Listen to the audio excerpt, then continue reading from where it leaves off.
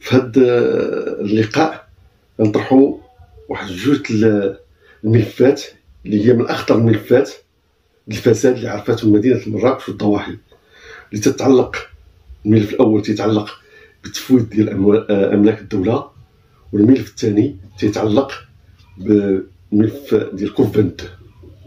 وهاد بجوج الملفات اللي الجمعية الوطنية للدفاع عن حقوق الإنسان وحماية المال العام هي اللي فجرات هاد جوج الملفات.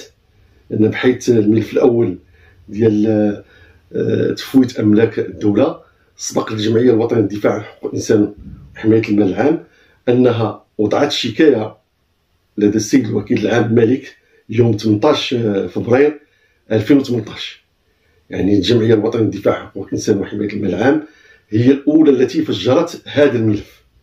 وفعلا وضعنا الشكاية عند السيد الوكيل العام لدى محكمة الاستئناف بمدينة مراكش وعطى التعليمات ديالو للضابطة القضائية المختصة وهي الفرقة الوطنية. آه، اللي استمعت لي من بعد ثلاث أشهر على وضع الشكاية حيث أن تم الاستماع إليه من طرف الفرقة الوطنية للشرطة القضائية في ماي 2018 وفعلا منحنا جميع الوثائق والإثباتات اللي تتعلق بالتجاوزات اللي كانت في هذا آه، الملف ديال تفويت أملاك الدولة.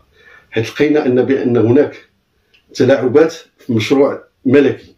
لأن المشروع الملكي مراكش الحاضرة المتجددة. وعندنا مجموعة ديال ديال الأمثلة اللي طرحناهم في في الشكاية واللي فعلا أن الفرقة الوطنية للشرطه القضائية أنها عمقات البحث فيهم ووصلت مجموعة ديال الحقائق والاثباتات واللي في الحقيقة بعد رجوع الملف بعد يعني الملف اللي في المدة ديالو ديال البحث اللي استغرق ما يفوق ست سنوات أن في في مارس 2024 أن السيد الوكيل العام الملك لدى محكمة الاستئناف مراكش أحال القضية على السيد قاضي التحقيق آه، الغرفة الثالثة المكلفة بجرائم الاموال حيث أن طرح مجموعة ديال المتابعات آه، للمتهمين اللي هما 11 متهم فيما آه، يخص المتهم الأول اللي هو السيد آه، الوالي السابق لجهة مراكش آسفي السيد عبد الفتاح الجيوي اللي تمت إحالته على السلطة القضائية للاختصاص لأن عنده امتياز قضائي. وبقاو عشرة المتهمين اللي فيهم المدير الإقليمي للأملاك المخزنية السابق والمدير الجهوي السابق للأملاك المخزنية آه، بجهة مراكش اسفي وكذلك رئيس قسم التعمير السابق بجهة مراكش اسفي والمدير ديال مركز الاستثمار بجهة مراكش اسفي طبعا المدير السابق. والمدير الوكالة الحضريه السابق اللي هو رهن الاعتقال حاليا في ملف آخر اللي هو مدان فيه بعشر سنوات. وكذلك العمدة السابق لمدينة مراكش ونائبه الأول السابق لعمدة مدينة مراكش واللي هو برلماني حالي والنائب نائب لرئيس مجلس جهة مراكش أسفي وكذلك آه، كان هناك واحد مستشار جماعي وأمين جهوي لحزب المعارضة وعضو في مجلس الجهة مدينه مراكش ومستثمر بمدينه مراكش والمتهم 11 هو الرئيس ديال مقاطعة سيدي يوسف بن علي السابق اللي هو نائب العمدة حاليا. هذا الملف لا يعرف واحد الخروقات كبيرة. هنا تيتبين بأن الفساد. أضحى بأنه أصبح بنيوي لأن تهول بواحد الطريقة اللي اللي فاجأت الجميع لأن فاش تلاعب مشاريع ملكية يعني هنا تيكون واحد التجاوز ديال جميع الخطوط بما فيهم الخطوط الحمراء. يعني فاش تيكون بأن واحد المشروع اللي هو مشروع ملكي واللي توقع أمام يدي صاحب الجلالة وتيتم التلاعب فيه يعني هنا بأن هاد الناس هاد الفساد تغول في, في البلاد. ونعطيو أمثلة على هاد على هاد المشاريع الملكية واللي تم تزوير آه، الملف ديالها وتفويتها للمجموعة ديال المضاربين عقاريين ومنتخبين كبار مدينة مراكش. يعني نعطيو واحد الأمثلة من بينها المحطة الطرقيه العزوزية حيث أنه في سبق المجلس الجماعي السابق يعني خلال الفترة الانتدابيه 2009 2015 أنه اقتنى واحد ثلاثة البقاع. ثلاثة البقاع بمقاطعة ديال الناريه وبالتحديد بالعزوزية. أنها ثلاثة البقاع وحدة مخصص آه، كان أنها تخصص لبناء المحطة الطرقية.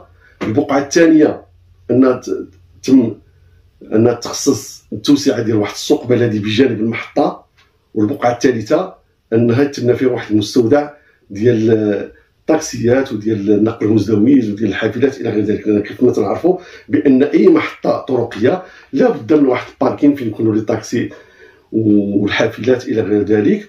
وكذلك بأن التوسعه ديال السوق لأن حتى المسافر أنه تيحتاج عنده احتياجات ديالو يعني تي ممكن يقتني مواد غذائية ممكن يقتني ملابس إلى غير ذلك. يعني هذا هو اللي كاين. هنا تيجي المجلس اللي كان على الرأس ديالو آه، السيد العربي بالقيد يعني خلال الفترة الانتدابيه 2015 2021 تنتفاجئوا بأن بقعتين من ثلاثة من ثلاث بقاع أنها تتفوت في ظروف غامضة. المنتخبين كبار البقعة الأولى اللي كان من من المفروض أنها التوسعه ديال السوق البلدي تيقتنيها واحد المستثمر اللي هو ما هو إلا أجير عند واحد البرلماني حاليا اللي كان هو النائب الأول ديال عمدة مدينة مراكش. يعني ما هو إلا أجير لأن الشركة كانت بالاسم ديالو يعني تتفوت ليه. البقعة الثانية الثانية تتفوت واحد البرلماني سابق وعضو مجلس جماعي حاليا وأمين جهوي ديال حزب في المعارضة. وهاد البقع بجوج تيتم بناء ديالهم واحد جوج المحطات ديال المحروقات. يعني في, الوقت اللي كان أن دوك جوج البقع تخصص المستودع ديال ديال les taxis والمستودع ديال وكذلك التوسعه ديال السوق أنهم تيوليو تيولوا أنهم تيستثمروا في محطة ديال ديال المحروقات. وكأن آه، المحطة بحاجة إلى المحطة ديال المحروقات. وحنا تنشوفوا المنطقة ديال العزوزية حتى حتى بالنسبة للبنيه التحتية يعني من الناحيه ديال ديال الطرقات إلى غير ذلك ما كاينش واحد التوسعه وهاد هاد هاد هاد المحطات يعني المواطن العادي غيمشي تماك يعني غيتفاجئ بأن محطة الطرقات خارج نجد الشارع. وأن أي محطة طرقية لابد من من واحد المستودع ديال ديال ديال السيارات وبيان ديال الطاكسيات إلى غير ذلك. هنا ما تلقاوهاش. يعني هنا ها هي وجدات المحطة الطرقيه ولكن فين هي آه، المستودع اللي غيكونوا فيه آه، الطاكسيات المستودع اللي غيكونوا فيه الحافلات. وحنا تنعرفوا بأن المحطة الطرقيه على الأقل هنا في مراكش غتدوز واحد 500 حافلة في اليوم. يعني فين غت فين غيمكن لها آه، توقف لها بزاف المسائل اللي كاينة. هنا تنشوفوا بأن شوف فين وصل الدرجة ديال الفساد. علاش هنا تنقولوا بأن هاد الملف يعتبر من أخطر الملفات اللي عرفاتهم المدينة ديال ديال مدينة مراكش. نعطيو مثال ثانيا وهي واحد البقعة أرضية نيت في في المقاطعة ديال المنارة وبالأخص في تالكا في حي تالكا. أن واحد نفس المنتخب من هاد المنتخبين بجوج نفس المنتخب اقتنى واحد الأرض آه، بتالكا يعني بواحد الثمن آه، ديال 650 درهم المتر مربع. في واحد المنطقة اللي المتر مربع ديالها تيتجاوز 10000 درهم المتر مربع. على أساس أن غتكون فيها بنايات وهاد البنايات جزء منها غي غيكون مخصص للسكن الاقتصادي. يعني هاد هاد هاد هاد المنتخب غير حصل على ديك البقعة وشراها هو في ظروف غامضة أما تغيرت جميع المسائل. يعني ولا جميع البنايات اللي عمل وجميع العمارات اللي دار دارهم سكن نوايا ستوندين يهو ستوندين يعني فين هو السكن اقتصادي اللي عليه علاش خدا ديك الأرض؟ هنا تتبين الدرجة ديال التزوير في محررات رسميه يعني هنا هنا بزاف الحوايج اللي اللي كانت. وهنا تتبان فين وصل التبديد ديال الأموال العامة. وفعلا أن الجمعية الوطنية للدفاع عن حقوق الإنسان وحماية المال العام انها هي اللي فجرات هذا الملف. وضعت الشكاية الأولى في 18 آه، فبراير 2018 وعودات عملت شكاية هذه الشكاية الأولى. كما تشوفوا؟ أنها توضعات في 18 فبراير 2018 واللي وضعناها عند السيد الوكيل العام لدى محكمة السيناء في مراكش. الموضوع ديالها هو إجراء بحث في شأن تبديد أموال عامة عبر تفويت عقارات في ملك الدولة بأثمان زهيدة إلى منتخبين ومضاربين عقاريين. وكذلك تم وضع شكاية أخرى 12 مارس 12 مارس 2024 الشكاية الثانية اللي كان الموضوع ديالها هو طلب إجراء بحث قضائي في شأن تبديد أموال عامة عبر تفويت عقارات في ملك الدولة المنتخبين المضاربين على حساب مشروع ملكي. استغلال النفوذ الغدر تبييض الأموال والإثراء غير المشروع. يعني هاد الشكايتين بجوجات تم أن السيد الوكيل العام عطى التعليمات ديالو للضابط القضائي المختصة وفعلا تفتح تحقيق وكيف تهم وعندنا مجموعة ديال التهم اللي كاينة. فيما يخص المتابعين كاين مريد ادريس العماري العلوي اللي متهم بجناية جوج الجنايات. جناية تبديد أموال موضوعة تحت يد موظف عمومي مقتضى وظيفته والمساهمة في تزوير محررات رسمية. هنا هذه المساهمة في تزوير محررات رسمية ما فيها المشاريع اللي توضعات أمام يدي الملك. يعني توضعات له آه، على ما أظن في يناير 2014 واللي كانت آه، آنذاك آه، يعني في الفترة الانتدابية ديال المجلس الجماعي السابق ما بين 2009 و 2015 والأستاذة فاطمة الزهراء المنصوري هي اللي تلات الرسالة أمام يدي الملك في يناير 2014 كاين هناك كذلك متهم ثاني هو عبد الرحيم بوعلالة وهو المدير الجهوي السابق لجهة مراكش آسفي. هو متابع بجنايتين جناية تبديد أموال موضوعه تحت يد موظف عمومي بمقتضى وظيفته وجناية المساهمة في تزوير محررات رسمية. كذلك هناك إبراهيم خير الدين اللي هو المدير السابق لمركز الاستثمار بجهة مراكش آسفي. هو متابع بجوج الجنايات جناية تبديل أموال موضوعه تحت يد موظف عمومي مقتضى وظيفته وكذلك جناية المساهمة في تزوير محررات رسمية. كاين هناك كذلك المدير السابق للوكاله الحضريه ومعتقل حاليا ومدان بعشر سنوات سجنا في ملف آخر خالد ويا ومتابع بجوج الجنايات جناية تبديل أموال موضوعة تحت يد موظف عمومي مقتضى وظيفته والمساهمة في تزوير محررات رسمية. وكاين المتهم الخامس رشيد الهنا وهو الرئيس السابق لقسم التعمير بجهة مراكش آسفي ومتابع بجوج الجنايات. جناية تبديد أموال موضوعة تحت يد موظف عمومي مقتضى وظيفته والمساهمة في تزوير محررات رسمية. المتهم السادس كان محمد العربي بن القيد العمدة السابق لمدينة مراكش ومتابع بجنايتين جناية تبديد أموال موضوعة تحت يد موظف عمومي مقتضى وظيفته والمساهمة في تزوير محررات رسمية.